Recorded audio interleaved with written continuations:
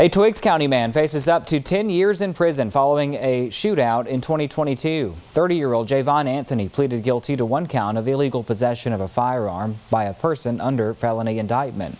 According to court documents, Anthony exchanged gunfire with Trevonte Tharpe on July, in July of last year at home on Shine Road in Jeffersonville. Officers recovered 17 rounds from the scene after executing a search warrant at the home. Investigators say they found the gun and magazine under a kitchen sink.